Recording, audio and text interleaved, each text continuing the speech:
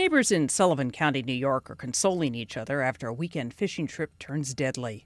Uh, we had four young men out in a boat ranging 18 to 20 years old fishing. Uh, none of them wearing flotation devices, wearing winter clothing. It was a little cool out. One of the members of the boat stood up. The boat capsized.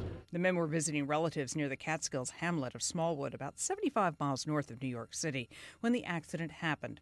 20 year old Gianfranco Generoso managed to make it to shore and seek help. Three others never made it to shore. Divers later found two bodies and have been looking for a third. Officials believe the men's winter clothing became waterlogged when they fell in the water. The search for the third victim was suspended Sunday night and resumed Monday morning. Diane Kepley, The Associated Press.